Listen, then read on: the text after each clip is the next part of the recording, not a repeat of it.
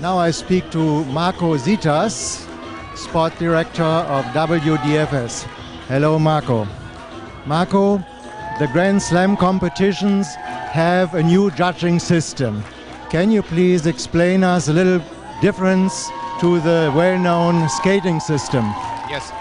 Uh, first of all, when we installed this new system some years ago, uh, we thought about uh, the IOC and the recommendation from the International Olympic Committee to introduce a new system which is much more transparent and objective for all our athletes.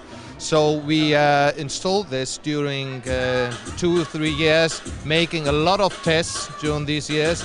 And um, the, the, main uh, difference between the old system and the new system is that uh, we have uh, in the past the relative judgment and we compare one couple with the other couple. And now we have the absolute judging.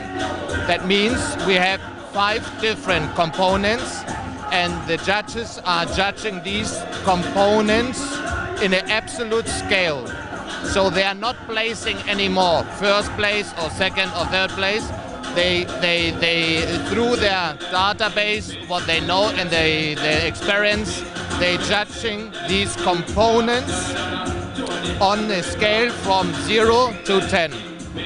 And this is the main uh, uh, difference at this moment.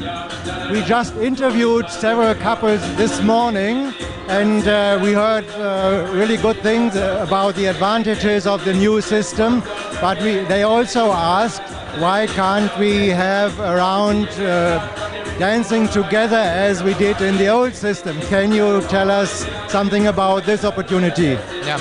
As I said before, it was requested uh, from many from IOC that uh, we have to make this uh, new judging system on the absolute scale and then to compare and to mix two different systems uh, it's not uh, it's not possible to, to, to fix this so we have to have only one system which is now the absolute system for the Grand Slam final and this means that we can only judge one couple by one so um, in the earlier rounds, they are still dancing together, the couples. So they have the, the chance to see the, the couples still, still and to compare. But at the end, in the final, we use only this new system with the absolute judgment. Thank you very much, Marco. This is a clear answer to the couples, I hope. Thank okay. you very much. Thank you very much. You're welcome.